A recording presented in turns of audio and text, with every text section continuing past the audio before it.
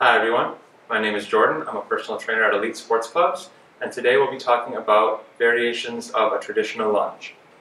When you lunge traditionally, you want to put one foot back and one foot forward. This is called a stationary lunge because we're not going to be moving forward or back in the lunge. You want to put about 85% pressure on this front leg and as little pressure on the back leg as you can. That accentuates the work done on that front leg.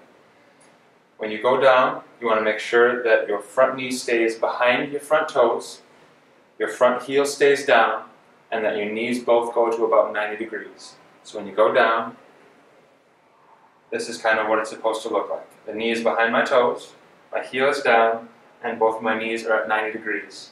If I was too long in my lunge, I would come down, and my knee is still in a correct position in front, but my back knee is a little long. Similarly, if I'm too close, this is at a more acute angle than 90 degrees, which is kind of where we want.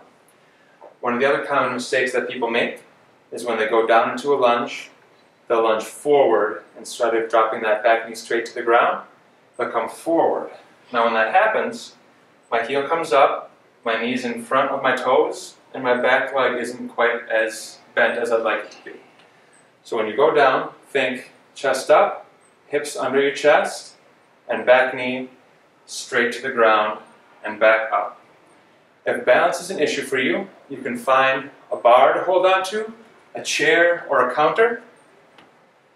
Put your hand very gently on top as much as you need to maintain balance.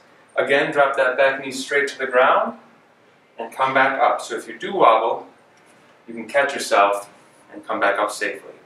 If you have knee pain but would still like to do lunges, don't go quite as deep in the lunge. You can come down as far as you can without pain and come back up and that'll still work all the muscles that we want to in the lunge. As your muscles get stronger, it'll take some of the pressure off the joints and allow us to go a little bit deeper into the lunge. And that is a traditional lunge.